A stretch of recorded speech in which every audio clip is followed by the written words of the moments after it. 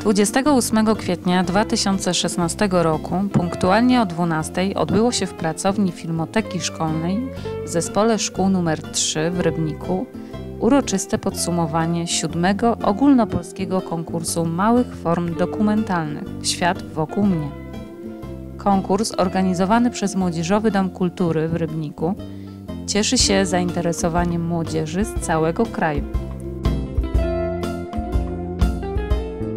W tym roku do MDK napłynęło 38 prac konkursowych, z których jury dr Ewelina Konieczna z Uniwersytetu Śląskiego, Ewa Klonowska i Barbara Zielińska wyłoniło laureatów na poziomie gimnazjalnym i ponadgimnazjalnym.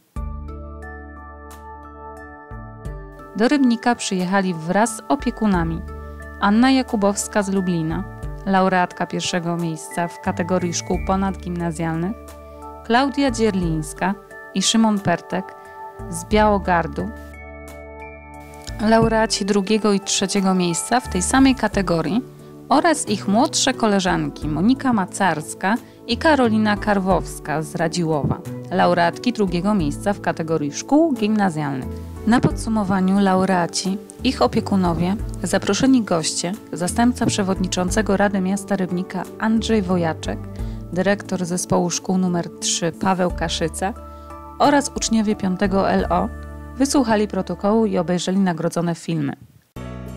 Organizatorka i pomysłodawczyni konkursu Ewa Klonowska podkreśliła wysoki poziom nadesłanych filmów, ich różnorodność formalną, a także dużą wrażliwość uczestników konkursu na zjawiska i problemu codziennego życia. to, że jakby idziecie na przekór temu, co nie wiem, medialne, co modne. Ważną częścią finału były warsztaty filmowe na temat filmu dokumentalnego, które poprowadził filmoznawca Konrad Pronowis. trochę wzbogacili nasze zdolności oratorskie i sposoby komunikowania się z drugą osobą,